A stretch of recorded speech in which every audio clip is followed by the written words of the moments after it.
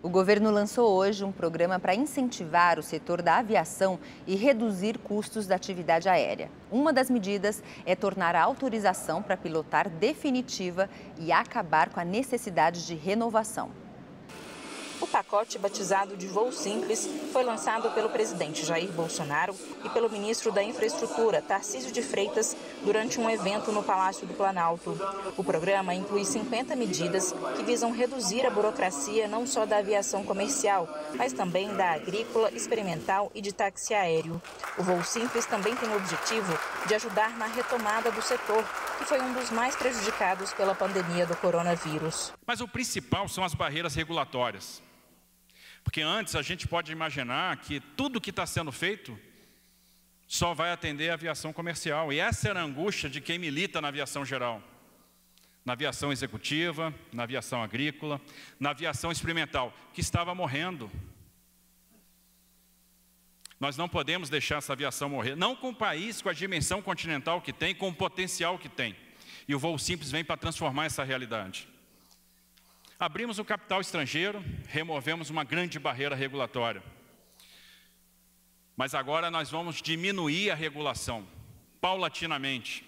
E o esforço começa no dia de hoje. Entre as medidas estão o fim da obrigatoriedade de pilotos renovarem a autorização para pilotar todos os anos, a determinação para que pilotos e copilotos passem pelo mesmo treinamento e a digitalização de todos os documentos que hoje são exigidos impressos dentro das aeronaves.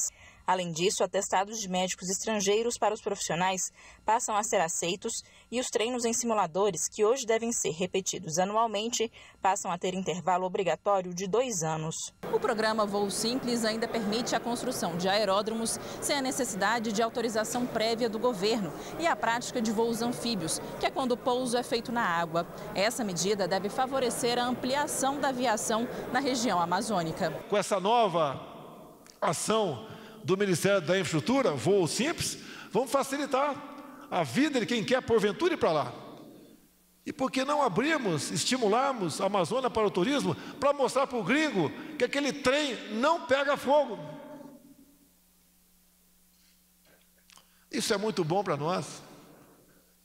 As pressões que eu sofro, esqueçam, por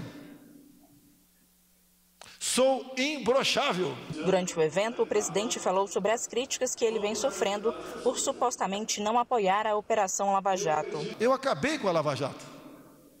Porque não tem mais corrupção no governo.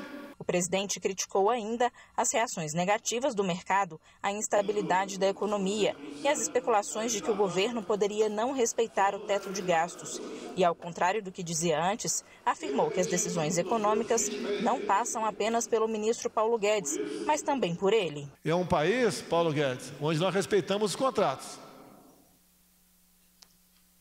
Nós não queremos fazer nada de anormal para dar um jeitinho ali, lá ou acolá. Me surpreende por vezes o mercado, por declaração de um ministro ou de uma, um funcionário de segundo escalão falar alguma coisa e aquilo passar a ser uma verdade, a bolsa cai, o dólar sobe. A palavra final na economia não é de uma pessoa, são de duas pessoas. Eu e Paulo Guedes. Mais cedo, antes do evento, Bolsonaro recebeu o presidente do Senado, Davi Alcolumbre, e parlamentares para um almoço. O encontro acontece no momento em que o governo e o Congresso tentam entrar num consenso para financiar um novo programa social, o Renda Cidadã, e a prorrogação da desoneração da folha de pagamento.